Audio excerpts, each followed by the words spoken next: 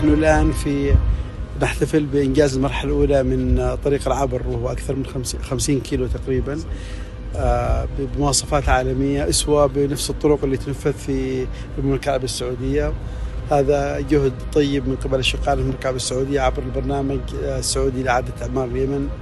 آه، وأنا فخور وأنا أشوف هذه المرحلة تنجز بإذن الله. كذلك يوم أمس دشنا المرحلة الثانية 40 كيلو. آه، وهذا جزء من آه، يعني خط استراتيجي يخدم آه، يعني الطرق الاستراتيجية في اليمن ويربطنا كذلك بأشقائنا في المملكه السعودية.